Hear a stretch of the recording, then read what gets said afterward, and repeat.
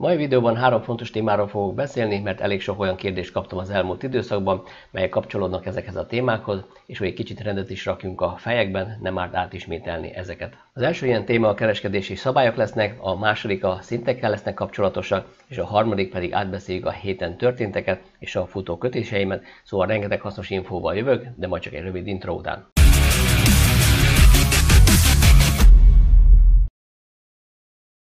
Az elmúlt pár hétben rengeteg kérdést kaptam, és azt ültem le ezekből a kérdésekből, hogy bár elég sokat beszélek a szabályimról, főleg a heti piaci körkében, valahogy mégsem akarják ezeket sokan betartani, és aztán csodálkoznak, ha lemaradnak, vagy túl későn lépnek be, és csak rohannak a piac után, mert hajtja őket a kereskedési kényszer. Ezért első lépésként át fogom ismételni a legfontosabb kereskedési szabályomat, hogy a jövőben ezeket a hibákat minél kevesebb szer kövesd el. Tisztában vagyok azzal is, ismerve az emberi természetet, hogy nagyon kevesen fogják ezeket betartani, mert valamiért szeretünk felesleges köröket futni, és amikor már kifáradtunk, akkor visszatérünk ezekhez a szabályokhoz, holott a célom pont az lenne, hogy mivel én már megfutottam ezeket a köröket, neked már ne kelljen. Így rengeteg időt spórolva neked. Nem is húznám tovább az időt, átmenjünk a csártokra, és már is jövök a részletekkel. Első lépésként ugye egy teljesen tiszta csárton bemutatom újra a teljes folyamatot, hogy hogy néz ki az elemzésem, és hogy milyen szabályok mentén kereskedem. Itt vagyunk az Euro USD 7-es csártyán, ugye nagyon fontos két dolog, hogy a periódus elválasztó legyen bekapcsolva, és a 7-es csártról indítsuk az elemzést. A következő lépés, hogy behúzzuk a fontosabb szinteket, melyek térképként szolgálnak a számunkra, és így nagyjából látjuk, hogy hova tart az árfolyam, melyik irányba megy az árfolyam, és hol lennek a fontosabb céláraink. Ilyen szintek az éves high szintek, ezeket általában két évre visszamenőleg szoktam behúzni, azért, hogy lássam, hogy jelenleg ahol most van az árfolyam, az melyik év sávjában tartózkodik, és akkor ezeket tudom használni célárként, tehát az előző év mélypontja az itt található, tehát hogyha itt újra elindul az árfolyam, akkor jó eséllyel első körben eddig a célárig várnám el. Tehát az éves high célárként használom, és utána kellene nekem a belépési zónák, ott viszont mindig megnézem, hogy az adott szakasz, ahol lejött az árfolyam, ahol tart, ott melyik az utolsó legmélyebb hetes gyertya, annak a szintjét behúzom, és megkeresem az ehhez tartozó múltbéli első legmagasabb gyertyáját, ahonnan lejött az árfolyam. Ilyenkor nem feltétlen kell a teljes szakaszt vizsgálni, mivel nagy távolságról beszélünk, tehát rövidebb távon az utolsó lejövetelt, ahonnan lejött az árfolyam, az lesz a legmagasabb pontom. Ide beszoktam húzni ugye két vízszintes vonalat, a hetes szinteket én általában a kék vonalra szoktam jelölni, és utána már meg is vagyunk. Tehát összesen erre van szükségem ahhoz, hogy el tudjam dönteni, hogy ott a következő időszakban merre fog tartani az árfolyam. Amire az utóbbi időben én is jobban odafigyelek, hogy nem csak a hetest, hanem a havi szinteket is beszoktam húzni, tehát az utolsó legmélyebb havi gyertya legmagasabb pontját, tehát ha felmegyünk a havi csártra egy pillanatra, akkor jól látható, hogy egy komoly esésen van túl az árfolyam, leérkeztünk fontos szintekre, és most tulajdonképpen egy inside báron belül vagyunk, itt is érdemes behúzni ilyenkor az utolsó legmélyebb gyertya legmagasabb pontját, ugye ez a múlt havi gyertya volt, nézzük meg, hogy szinte lentre és felfelé is megjárta megcsinálta ugyanezt az árfolyamot, tulajdonképpen inside báron belül vagyunk, nem tudott elindulni az árfolyam felfelé még, akkor fog ez elindulni, ha majd a havi szintek is sérülnek. Tehát jelenleg egy nagyon mély inside báron belül vagyunk, egy nagyon nagy sávban, egy havi sávban, amíg ebből a sávból ki nem tud törni az árfolyam, addig tulajdonképpen egy megpihenés, egy oldalazós szakasz fog jönni. Ha visszamegyünk egy pillanatra a hetes csártra, Ugye arról beszéltem, hogy itt fontos szintek vannak, valahol itt van egy napos szintünk is, elég közel van a napos és a hetes szint, ezért most azt külön nem húzom be. Tehát amíg a szintek alatt vagyunk, tehát inside báron belül vagyunk, a szabály az, hogy csak a szintek közötti távolságokat tudjuk kereskedni, és a szinteknél mindenképp ki kell szállni. Amikor majd a folyamatok meg lesznek, és szépen kialakulnak azok az alakzatok, ami szükséges ahhoz, hogy a hosszú távú folyamatok elinduljanak, Nyilván ennek idő kell, mire ezek kialakulnak. Utána be lehet majd ide húzni egy trendvonalat, és a trendvonal törés utáni szakaszban lehet majd kereskedni. Ami nagyon fontos még, hogy mindenképp a szint felett kell maradnia tartósan, vagy a hetes, vagy a havi szint felett az árfolyamnak, és a testtel a gyertyáknak már nem szabad alájönnie, és utána lehet csak hosszú távban gondolkozni, és akkor megvan a következő célárunk, ez a hetes szint lesz. Mivel a legtöbb devizapáron egy nagyon nagy ereszkedés után fontos szintekre érkeztünk, tehát az összes devizapár szinte fontos éves szintek környékére ért, Ilyenkor egyszerűen meg kell várni türelmesen azt a több hét vagy akár pár hónap oldalazást, miután kialakul az a technikai kép, ami majd újra belendítheti az árfolyamokat, és újra el tud indulni, és akkor újra mehetünk felfelé. Viszont ezekben a szakaszokban itt kereskedni nyilván sokkal nehezebb lesz, és ez egy ideig el fog tartani, és ezek azok az időszakok, amikor el kell dönteni, hogy itt érdemes ilyen kis rövid távon kereskedni, vagy pedig türelmesen megvárjuk, amíg legalább a hetes szint fölé ér az árfolyam, és esetleg nagyobb kereskedésben lehet részünk. A jelenlegi technikai kép alapján egyértelműen kijelenthetjük, hogy a nagy esés után egy megpihenő szakaszba ért az árfolyam, inside baron belül vagyunk, tehát csak is rövid távon kereskedünk. A következő szabály, amiről rengeteget beszélek, főleg a heti piac elemzős videómban is, ha átmegyünk a következő csátra, mondjuk egy GBP USD-re, ugye mindig arról beszélek, hogy amikor egy adott héten újabb mélypontra megy az árfolyam, az azt jelenti, hogy ez az esőtrend még nem ért véget, mert újabb mélypontra ment. És amikor majd kialakulnak ezek a kanócos gyertyák, amik heves mozgással ugye felpattannak az éves szintekről, és mindig erről beszélek, hogy itt ezekben a folyamatokban ezért nem kereskedek, mert megvárom türelmesen ezt a jelzésrendszert. Ugye ez azt jelenti, hogyha kicsit összép húzom a csártot, hogy leérkeztünk egy fontos szintre, mégpedig ide a három évvel ezelőtti mélypontra. Igaz, hogy még csak megszúrtuk, de visszapattant az árfolyam. Ez még nem jelenti azt, hogy itt elindult folyamatok vannak, és hogy egyből felfelé fog menni az árfolyam. Korán sem, ez csak azt jelenti, hogy fontos éves szintre érkeztünk, és visszarántották a piacot. És amikor új mélypontra megy az árfolyam, mindig elmondom, hogy azon a devizapáron már az adott héten nem kereskedek, mert itt jön be az a heves mozgás, csapkodás, egyszer felmegy az árfolyam, de utána le is jön az árfolyam. És amíg ez nem zár le, tehát amíg a hetes gyertyám eleve shortban van, miért akarnék long irányba kereskedni? Azért, mert nem veszik észre a hetes csárton, hogy még nem lezárt gyertyáról beszélünk, és sortos gyertyáról, és a kisebb idősíkon már felfelé kereskednek. És ezért van az, hogy nagyon sokan elveszítik a pénzüket, mert ezeket a szabályokat nem tartják be. Sokan félreértelmezik ezt a mozgást, mert ez nem azt jelenti, hogy egyből el fog indulni long irányba az árfolyam, ez azt jelenti, hogy fontos éves szintekre jöttünk le, és ezért pattant fel így hevesen az árfolyam, de ez nem jelenti még azt, hogy itt aztán el fog indulni automatikusan felfelé. Ugye mindig arról beszélek, hogy meg kell várni a legmélyebb gyertya lezárását, ebben a gyertyában ilyenkor pont ezért nem kereskedek, mert itt jönnek meg azok a heves mozgások, és itt lehet gyorsan kistoppolódni, főleg napon belüli kereskedésnél. Hanem meg kell várni, hogy a következő heti gyertya hogy fog zárni. Hogyha egyből a szint fölé tud zárni testtel szignifikánsan, akkor jöhet az, hogy újra el fogunk indulni nagy lendülettel, de általában ez akkor szokott csak meglenni, amikor mint a késevajban jövünk lefelé, és nincs előttét a közelben ilyen kis nyakvonalunk. Tehát általában a sima lejövetel után szokott hevesen fölpattanni. Tehát én arra asszociálok ebből, hogy itt a következő hetekben itt jöhet több hét oldalazás, megpihenés, mire ebből újra el tud indulni. Mivel fontos éves szintre érkeztünk, még lehet, hogy simán egy dupla ajba visszajövünk ide, és majd csak utána fog valamikor egyszer elindulni. Tehát erre kell figyelni, hogy egyrészt meg kell várni a legmélyebb gyertya, hogy lezárjon, a másik utána ki kell deríteni, hogy a következő hetekben szint fölé tudunk-e zárni, és megyünk tovább felfelé, vagy pedig több hét oldalazás jön. És a legtöbb esetben ilyenkor azért több hét oldalazás, megpihenés jön, mivel egy nagy lejövetelen vagyunk túl, meg kell pihenni az árfolyamnak, oldalazunk egy kicsit, és majd utána fogunk elindulni. Tehát most beérkeztünk egy olyan időszakba, amikor megint csak sávon belül rövid távon fogunk tudni kereskedni a legtöbb páron. Tehát miután berajzoltuk a fontos szinteket a hetes csárton, utána megvizsgáljuk az adott csárton a technikai képet, és el tudjuk dönteni, hogy kereskedésre alkalmas vagy sem. Hogyha igen, akkor csak rövid távú, tehát inside báron belüli kereskedésről beszélünk, ha pedig már a hetes és a havi szintek felett vagyunk, akkor beszéltünk hosszabb távú kereskedésekről. Mivel ez az árfolyam éppen, hogy csak lejött egy fontos szintre, ezért most ezen a csárton biztos, hogy kereskedési lehetőség a következő időszakban nem sok lesz. Egyrészt, mert itt meg kell csinálni azokat az alakzatokat, amiből majd később esetleg újra el tud indulni, és ez most időbe fog telni. Ahhoz, hogy itt kereskedni tudjunk, három feltételnek kell teljesülnie. Átmegyünk egy tiszta csátra, és most rajzolni fogok, hogy ezt keresd minden alkalommal, amikor kereskedni akarsz. Most van egy hetes szintünk. Tegyük fel, ez a hetes szintünk, és amíg a hetes szint alatt van az árfolyam, addig csak a napos és a kisebb idősikokon lehet rövid távú kereskedésekben gondolkozni, de ott is csak akkor, amikor a technikai kép adja magát, és akkor a napos szinttől a hetes szintig kereskedünk. Viszont ahhoz, hogy én hetes szinten hosszabb távú kereskedéseket tudja folytatni, ahhoz egyértelmű szintörés kell, a szintörés utáni visszatesz. Ha semmi más nem jegyze meg, csak ezt a folyamatot, ahhoz, hogy én kereskedni tudjak, ahhoz a lejöveteltől számított első felmenetelben nem nagyon szoktam kereskedni, mert az macerás.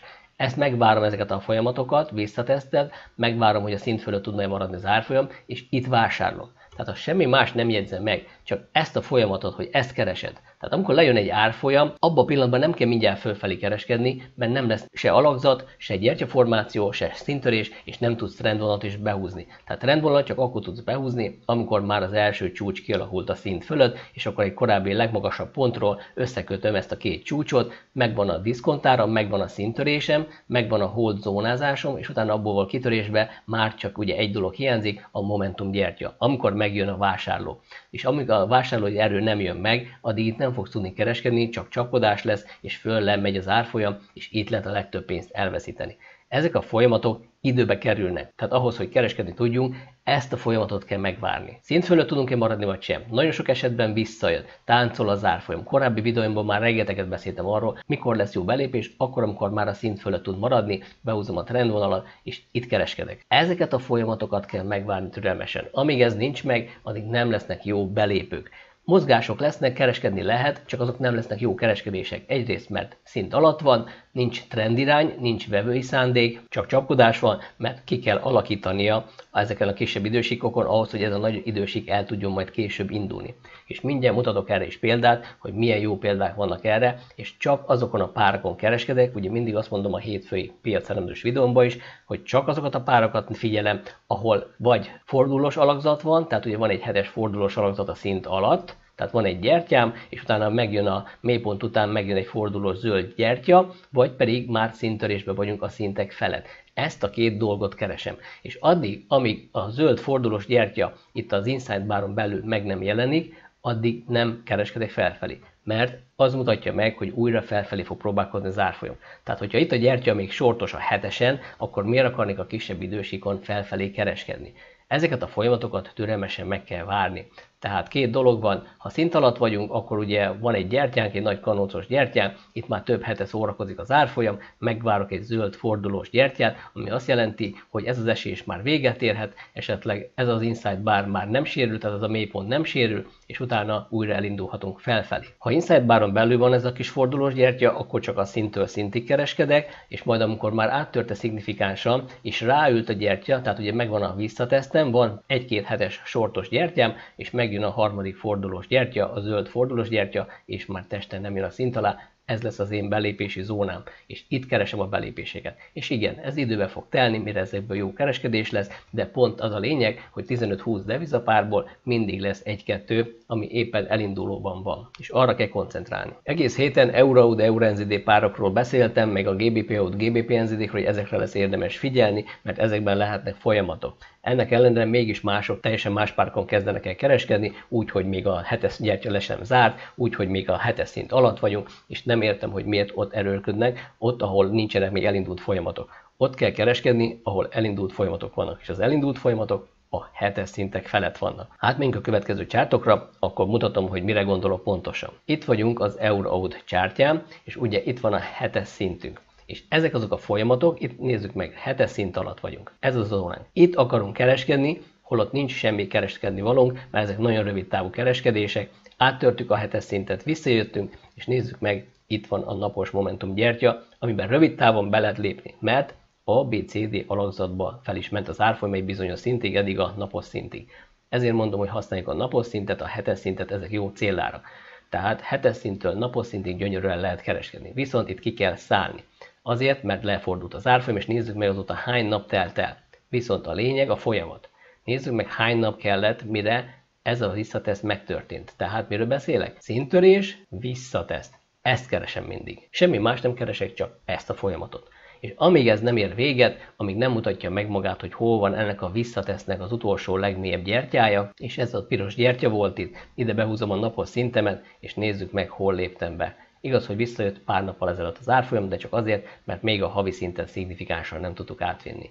Hogy egyrészt már itt megtesztelte a havi szintünket, mert ez a havi szint ugye, aztán visszajött, és aztán most újra megpróbálta, visszajött, de nézzük meg hova jött vissza, pontosan a napos szintünkre jött vissza az árfolyam. És itt be lehetett lépni, én itt már benne voltam, és mivel lent van a stoppom, nem kapkodok, mivel a mélypont alá teszem és megvárom türelmesen, hogy újra elinduljon az árfolyam. És hogy miért gondolom azt, hogy itt a következő időszakban ez jó belépő lehet, hogyha átmegyünk egy pillanatra a következő csártra. Ezért gondolom, mert pontosan ezt látni a havi csárton. Tehát a havi csártokat ezért használom. Van egy utolsó legmélyebb havi gyertyám, nézzük meg a múlt havit is, már próbálkozott vele, de nem tudta szignifikánsan átvinni, és itt van újra próbálkozik felfelé, tehát az e-havi gyertyám is zöldbe fordult, és még egy megerősítést lehet használni, hogyha a Fibót ráhúzunk egy adott időszakra, mindjárt kicsit összép a csártot, jó? És egy Fibonacci-t ráhúzunk erre a szakaszra, és nézzük meg, hogy hol van az árfolyam. Hova ült fel az árfolyam? Pontosan a 76-os Fibóra. Tehát ezért gondolom, hogy előbb-utóbb jöhet egy felpattanás, ami nem azt jelenti, hogy ez már a vége, hanem azt jelenti, hogy rövid távon újra felfelé gondolkozhatok. És akkor itt vannak ezek a szintek, amit látni a kisebb idősíkon is, és egyben egy Fibó szint is, hogy jó esélye első körben idáig kereskednék. Tehát ezért gondolom azt, és ezért fontos néha felmenni a havi csártokra, és főleg hónapzárás végén, azért, hogy lássuk ezeket a gyertyákat, mert ez a legmélyebb gyertya, ami itt van, ez a zöld gyertya, ez egyértelmű jelzés hogy itt megtorpanás jön, lesz egy kis oldalazás, és idővel el fog indulni újra felfelé az árfolyam. És a kisebb idősíkot csak arra használjuk, a napos csártot, hogy időzítsük a belépéseinket. És itt viszont a folyamatokat türelmesen meg kell várni. És nézzük meg, itt van, szintörés, visszatesz. Megkeresem a visszatesznek a legmélyebb pontját, és utána, hogyha az a sérül felfelé, akkor tulajdonképpen el lehet indulni. Ami miatt visszajött az árfolyam, az pedig nem más, mert ugye én a felszálló ágban szálltam be, nem pedig itt a visszatesztben. Itt is türelmesen meg kell várni a folyamatokat. Ha ide is ráhúzok egy Fibonacci-t, csak erre a visszatesztre, akkor mi történt? Pontosan a 76-osról fordult le. Ez vagy megtörténik, vagy nem. Ugye mindig erről beszélek. Első láb, ugye ez volt a lejövetelem, megvan a visszatesztem, ez volt az első lábam, általában 61-76-ig várom el, megjön a visszatesz, és utána újra jó eséllyel el tudunk indulni. Nyilván itt még be fog oldalozni kicsit, ide, ha behúzok egy trendvonalat, még itt a zónán belül vagyunk, és majd előbb-utóbb ki fog törni. Stopom, igaz, hogy egy nagyobb stopot használok, de pontosan azért, hogy legyen elég helye a piacnak mozognia, és hogyha jó az irány, és megerősítette az irányt, akkor csak idő kérdése, hogy ez mikor fog elindulni. Tehát kereskedni csak ott lehet, ahol a feltételek adottak. Megvan a szintörésünk, megvan a diszkontárunk, megvan a diszkontár legmélyebb pontja, szintek törtek, trendvonalra megerősítem és belépek. És innentől kezdve nem foglalkozok a többivel. Berakom a stoppomat, megvan a belépésem, és utána hagyom, hogy a piac tegye dolgát. Itt sem tudom megmondani, hogy tényleg itt a 76-nál el fog akadni, lehet, hogy simán átviszi, bármi megtörténhet, türelmesen meg kell várni, stopot beraktuk, és innentől kezdve már nincs dolgunk. Semmi más nem keresek, mint szintörés, visszatesz, megerősítés, pár gyertyával, és utána belépek. Ennyi. Tehát nem kell túlbonyolítani ezt a kereskedést. Viszont a lényeg a szűrésben van. Tehát addig, amíg nem vagyunk a hetes szintek felett, addig nem lesznek jó kereskedések, és ezt tudomásul kell venni. És azt is tudomásul kell venni, hogy igen, ez ennyi napon, meg ennyi hónap, meg héten keresztül fog alakulni, mire ebből jó kereskedés lesz. És itt lehet, hogy egy-két jó kereskedés meg lehet csípni itt ezekben a Momentum gyertyákban, rövid távon ez ilyen egy-két napos kereskedések. De itt a többségben nézzük meg, hogy itt esélytelen a kereskedés. Annyira kiszámíthatatlan, hogy hihetetlen. Viszont amikor már tudom tervezni, megvannak a szintjeim, az alakzatok, a gyertyaformáció, visszateszteltük, nem jövünk a hetes szint alá, ezek a belépőim. És itt már csak időkérdése, hogy ez mikor fog elindulni. Miért fontos, hogy a hetes csárton maradjunk addig, amíg a folyamatok ki nem alakulnak. Ha átmegyünk ugyanennek a devizapárnak a hetes csártyára, akkor nézzük meg, hogy hány hét kellett, mire ebből kialakult valami.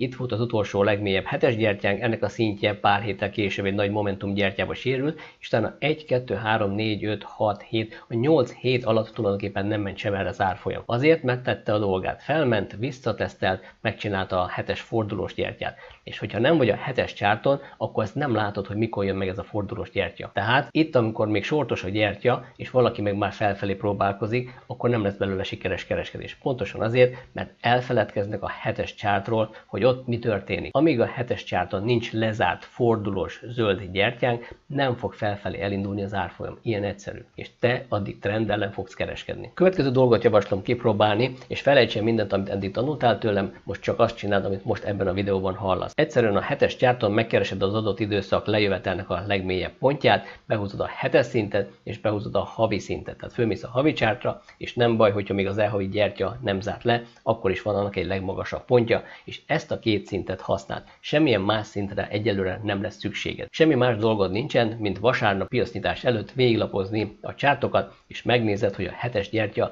hol zárt a szint felett. Ott, ahol nincs a hetes gyertya a szint felett, ott nincs miről beszélni, egyszerűen tovább kell lapozni. És hétközben pedig folyamatosan szűrünk, és a nap végén semmikor máskor csak a nap végén menj oda a csártokhoz, és lapozd végig a csártokat, és nézd meg, hogy mi történik. És amíg nincsenek meg ezek a fordulós alakzatok, nincsenek meg a szintörések, addig ott nincs semmilyen teendő. Abban a pillanatban, hogy esetleg áttörte a szintünket, akkor le lehet menni a napos csátra, és ott figyelni a folyamatokat. Nyilván, amíg a havi szint nem sérül szignifikánsan, addig ott sem lesz dolgod, viszont hogyha lemész a kisebb idősíkokra, ott azért a rövid távon egy-két napos kereskedéseket létre lehet hozni, és semmilyen más teendő nincsen.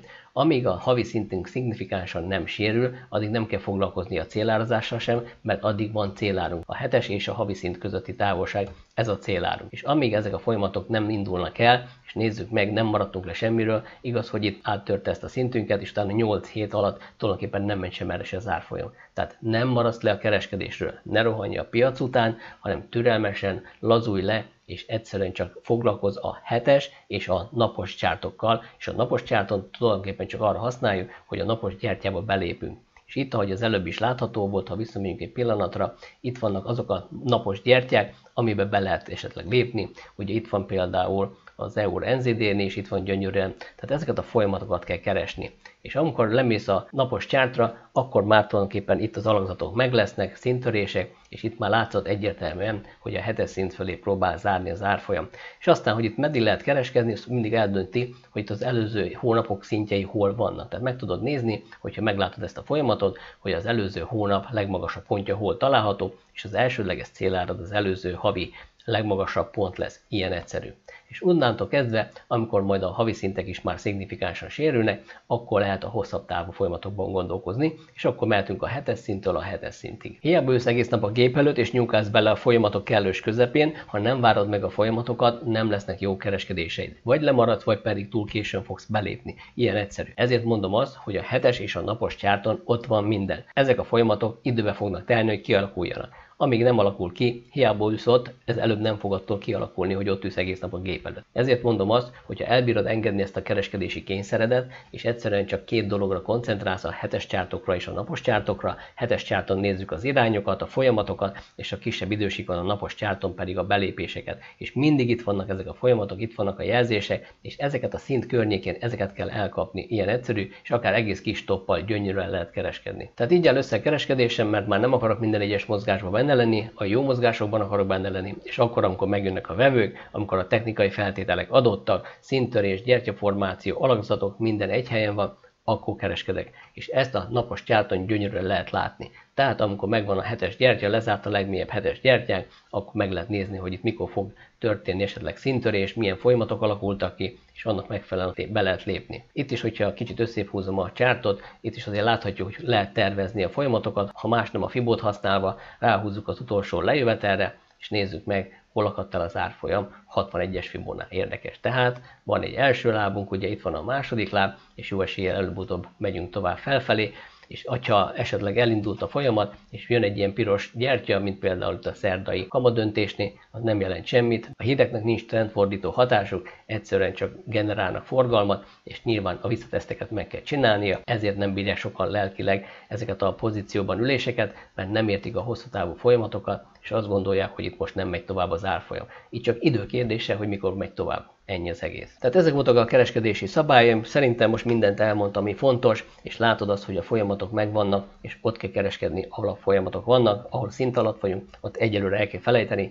mert itt a hetes szint alatti kereskedésekben lehet a legtöbb pénzt elveszíteni. Ez csak jó tanács, tudom, hogy nem fogják sokan megfogadni, ennek ellenére ott próbálkoznak kereskedni, pedig ott nem lesz se távolság, se trendirány, se vevői szándék, se tervezhetőség, de ettől függetlenül mindenki úgy kereskedik, ahogy azt ő gondolja. A lényeg, hogy ennyi volt tulajdonképpen a szabályrendszer. A szintekről annyit akartam csak elmondani, hogy itt az elmúlt időszakban sokat gondolkodtam azon, hogy tényleg van-e értelme a napos szintekkel foglalkoznom, és rájöttem, hogy minél tisztább csártom és minél kevesebb vonalat használok, annál jobban látom a folyamatokat, és egyszerűen itt koncentrálok a napos gyertyákra, hogy amikor a szint fölé tud zárni, akkor megnézem, milyen technikai kép alakul ki, és akkor el tudom dönteni, hogy meddig kereskedek, megnézem előző hónapok legmagasabb pontját, és az elsődleges céláram a havi szintek lesznek. Mutatok még pár példát, így a havi csártokra miért érdemes átmenni. Hogyha átjövünk ide a havi csártokra, jól látható, hogy itt például a GBP Audon is, nézzük meg, itt volt az utolsó legmélyebb havi gyertyánk, a múlt hónap is így nézett ki, és ez a hónap próbálkozik újra felfelé, és még jól láthatóan messze vagyunk a legmagasabb havi szintől, tehát le van maradva például az Euraudhoz képest, ha megnézzük az Euraudot, azért már ugye a szint környékén próbálkozik az árfolyam. Ha megnézzük a GBP NZD-t, itt is ugye azt látható, hogy volt egy utolsó legmélyebb havi gyertyánk, és már több hónapja tulajdonképpen nem tudta ezt a havi szintet átvinni. Itt a GBP oldalon nagyon szépen látszik a folyamat, hogy a havi szinttől a havi szintig lehet kereskedni, itt már egyszer majdnem megcsinálta, tehát újra fölfelé gondolkozunk, hogyha át tudjuk törni, és a folyamatok tényleg csak akkor fognak elindulni, amikor már a havi szintek felett is vagyunk. Ezek viszont több hét, több hónap oldalazásból fognak majd újra csak elindulni, és ezeket türelmesen meg kell várni. És ezekben az inside bárokban sokkal nehezebb lesz a kereskedés. A piac 70%-ban oldalazik és 30%-ban trendel, és ezt el kell fogadni, hogy a piac így működik. Ha átmegyünk az Euro NZD-re, tehát nézzük meg GBP NZD-nél vagyunk, itt vagyunk GBP NZD, ha átmegyünk az Euro NZD-re, hogy melyik a dominánsabb. Nézzük meg, tessék. Itt már havi szintek felett vagyunk. És ugye itt mi történt? Az utolsó legmélyebb havi gyertya szintje már a következő hónapban sérült. És akkor mi történik? Akkor felfelé megyünk. És nézzük meg, hol van a havi szintem, nyilván itt azért még lesznek elakadási pontok bőven, de a hosszú távú folyamat az ez lesz. És most, ha csak érdekességképpen ráhúznék egy Fibonacci-t erre a szakaszra, innen a kanosszól egész idáig, pontosan az 50-es Fibóig jött el.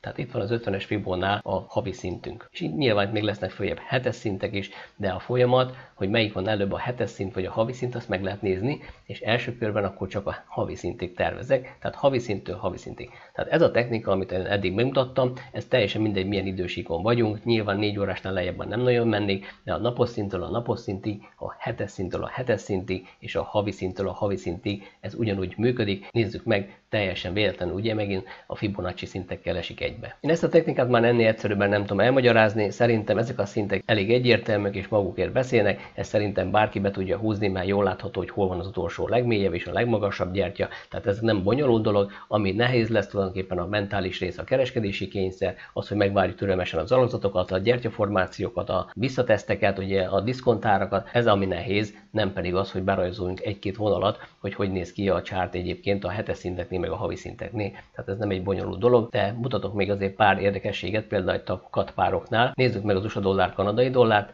Itt is ugye mi történik, hogyha hosszú távú folyamatokat nézzük és értjük a havi csártok, hogy mi történik, az e-havi gyertya hogy néz ki. Ennyi oldalazás után fog elindulni újra az árfolyam, és hova fog eljönni? Első körben idáig. Tehát hosszú távon mire gondolunk, hiába voltak itt az éves szintek, jól láthatóan ezek sérülni fognak, nyilván itt volt egy komoly ellenállás, amiben beleütközött az árfolyam, és itt most tulajdonképpen elindulhat az árfolyam, és ez lesz a következő célárunk. Tehát ezért érdemes feljönni a havicsártokra, hogy lássuk a folyamatokat, és elhiggyük, hogyha itt beszállunk valahol a kisebb idősíkon, mert tudjuk azt, hogy a hosszú távú folyamat az ez lesz, akkor egyszerűen sokkal nyugodtabban tudunk ülni egy poziban. Jó, de nézzük meg azért a többi katpárt is, hogy ott mi a helyzet GBP kad. Itt is ugye fontos szintekre érkeztünk, és ugye már mit mondtam több hete, hogy meg kell várni, hogy ezek a folyamatok elinduljanak, és meg kell várni, hogy ezek a heves mozgások megjöjjenek. És amíg ezek a heves mozgások nincsenek, addig én már itt nem kereskedtem, és pontosan ezért, mert tudtam, hogy előbb-utóbb ez meg fog történni. Nézzük meg, az e-havi gyertya így néz ki. Tehát jó eséllyel itt jöhet majd egy kis megpihenés, vagy egy felpattanás, majd meglátjuk, hogy melyik fog megvalósulni, de a lényeg, hogy itt még le nem zárt havi gyertyánk van, és van egy havi szintünk és ezeket én beszoktam jelölni. Hó végén, hogyha ezeket a havi csártokat csak véglapozom, látom azt, hogy hol vannak elindult folyamatok. És ott keresem a hosszabb távú folyamatokat, mint például az Eurenzideni, ahol már a havi szintem is sérült. Ilyen egyszerű. Tehát ez egy nagyon jó szűrő. Ha elmegyünk az EUR kadra, ott meg viszont már azt látjuk, ugye, hogy több hete, több hónapja már oldalazik az árfolyam, ugye egy inside bárba vagyunk már a harmadik hónapja és ugye kisebb időségon azért tudtam nyitni, mert ott már a napos szint sérült felfelé, igaz, hogy volt egy sortos gyertyánk benne, de ettől függetlenül stopomat nem ütötte ki, úgyhogy türelmesen vártam, és most már 90-100 p pluszban van az árfolyam, ezt a MetaTrader számlámon kötöttem, nem itt, úgyhogy ha megnézzük az NZD kadot, ott is nézzük meg, itt vannak a kanoncos gyertyánk, sortos gyertya, le nem zárt havi gyertya, tehát nincs miről beszélni. Itt nem fog hónap elindulni az árfolyam fölfelé, ilyen egyszerű.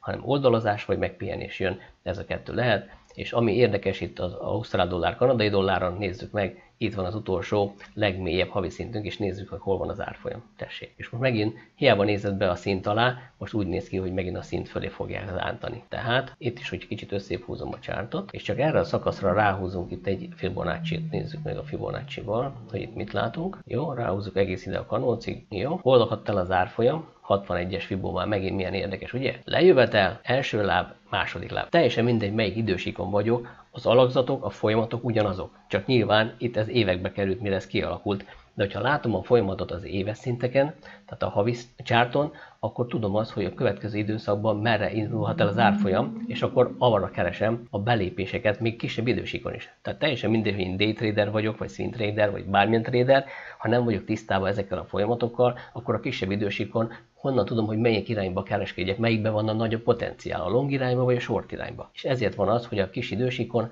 az emberkék, ugye, akik nem mennek föl a naposnál magasabb szintekre, vagy még oda se, hogy a kisebb idősikon a csapkodásokat kereskedik, és nem igazán tudják, hogy mi a konkrét irány. Ugye milyen érdekesek ezek, ugye mindenhol ugyanazok a folyamatok láthatók. És akkor ha megnézzük az EUR GBP-t, ugye arról beszéltem, hogy mindenki felfelé várnám pontosan ezért, mert itt a havi szintem sérült is, itt lejöttünk korábbi szintekre, fontos szintekre, tehát itt egy nagy oldalazós szakaszban van az árfolyam már évek óta. Nézzük meg, hogy ide beúzom, tessék, erre szintre érkeztünk le. Itt megcsinálta ugyanazt a heves mozgást, mint most a dollárpárok, meg nagyon sok másik pár. Itt van 1, 2, 3, és még a negyedik hónapja vagyunk már, és most tudod csak a szint fölé zárni. És most egyelőre kanócos a gyertya, de még a holnap fene hátra van, tehát meg kell várni, hogy mi történik, és nyilván ide szépen felszúrt, ez volt az elsődleges céláram. Itt akár ki is szállhattam volna, de úgy vagyok vele, hogy hagyom egyelőre futni, és majd meglátjuk, hogyan tovább.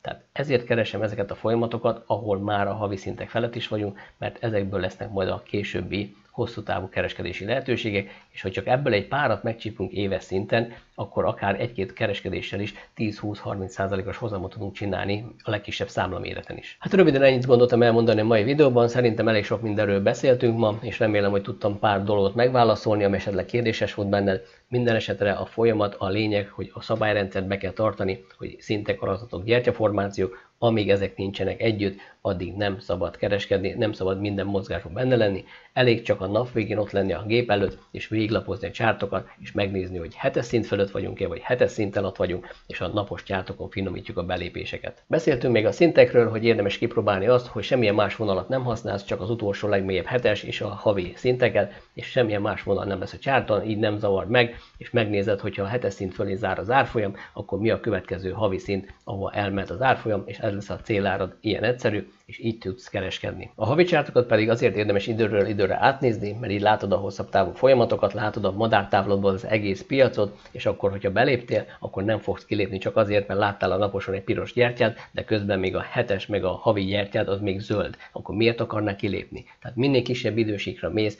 annál jobban össze fog zavarodni, és pánikba fogsz esni, mert látsz egy piros gyertyát. De nem érted a hosszú távú folyamatokat, akkor idő előtt ki fogsz lépni, és így nem lesz elég profitod. Láthatod, hogy a technikai rész nem egy bonyolult dolog, nem is ezen szoktak elvérezni a kereskedők, hanem inkább a mentális részen, vagy túl későn lépnek be, vagy túl korán lépnek be, vagy egyáltalán be sem lépnek, mert nem veszik észre időben a lehetőségeket, és ez inkább már a mentális rész része, és hogyha valaki nem tud ezen változtatni, nem tud másképp gondolkozni, akkor nem lesznek igazán sikerei a kereskedésben, magunkat kell megreformálni ahhoz, hogy ebből a kereskedésből profitosan tudjunk kijönni. Ezzel a mai videó végéhez is értünk, hogyha bármi kérdésed van a témával kapcsolatban, keres bátran, minden lehetőségemet megtalálod a videó alatti leírásba, úgyhogy köszönöm szépen az eheti figyelmet, hamarosan találkozunk egy következő videóban, jó hétvégét mindenkinek, sziasztok!